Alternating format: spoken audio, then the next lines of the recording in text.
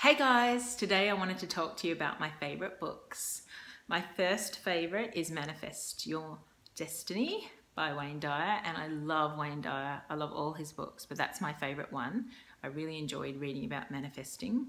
It's a little bit like The Secret, but I think um, a bit more scientific almost. I don't know.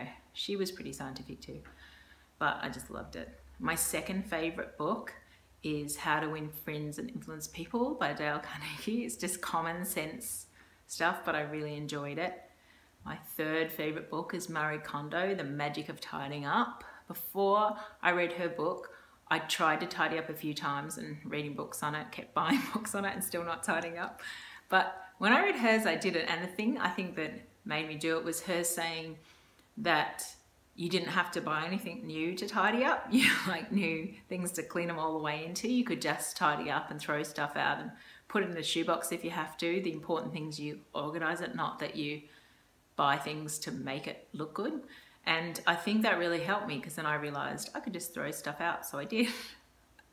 threw a lot of stuff out. I probably threw about 30% of the things in my house out. So it was a good idea, I think.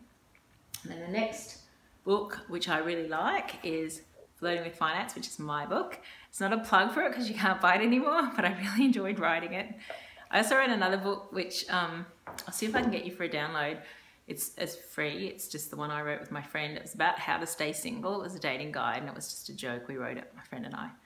And it, um, by the end of, by the time I'd finished writing it, I was married and my friend had a boyfriend. So it just, it doesn't work, put it that way. But we had a lot of fun doing it. Um, my next favorite book is Barbara Sher, and I've got it here. I could do anything if only I knew what it was.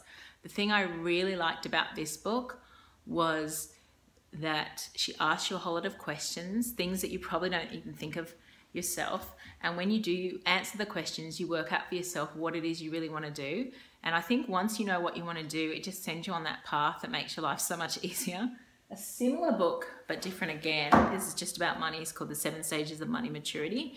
This book is, I just found so interesting again because it asked me questions that I'd never thought of before about money and my attitude towards it and goal setting and all this sort of thing. And I don't think I'd really set goals that much before I read that book. And that book made me really work out what it was that I wanted that I didn't even know that I wanted. And I think that's both those books, Barbara Sher's and Seven Stage of Money Maturity, really, the questions in there really did make me think. I don't know if it will have the same effect on you, but it really, really helped me.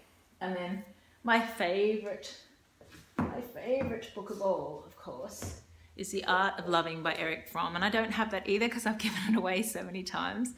And the thing I really like most about it is it tells you what love is. It's a really small book. It's only about 60 pages, but I've never before read about it and understood what it was. And after I read that book, about, I think I read it about 15 years ago, it just made my life so much better. And I think that could be something that might be of interest to other people too. Anyway, thank you for watching my video and please subscribe to my YouTube channel and I'm also on Instagram if you can follow me on Instagram. Thanks, bye.